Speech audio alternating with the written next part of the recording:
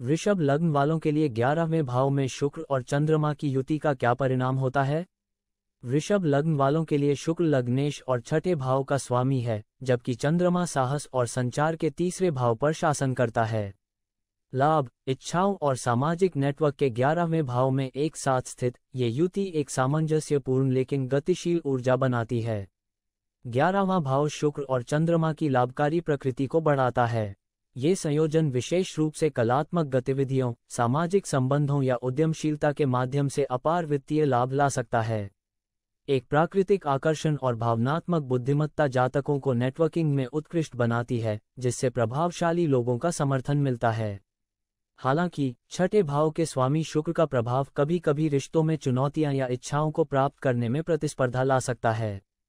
भावनाओं और व्यवहारिकता को संतुलित करना महत्वपूर्ण है। सकारात्मक पक्ष पर ये स्थान विलासिता, आराम और सुंदरता के लिए एक मज़बूत प्रेम को इंगित करता है। ये रचनात्मकता को बढ़ाता है, जिससे ये जातक फ़ैशन, मीडिया या जनसंपर्क जैसे क्षेत्रों में सफल होते हैं। अधिक ज्योतिषीय अंतर्दृष्टि के लिए बने रहें। लाइक, शेयर और सब्सक्राइब करना न भूलें।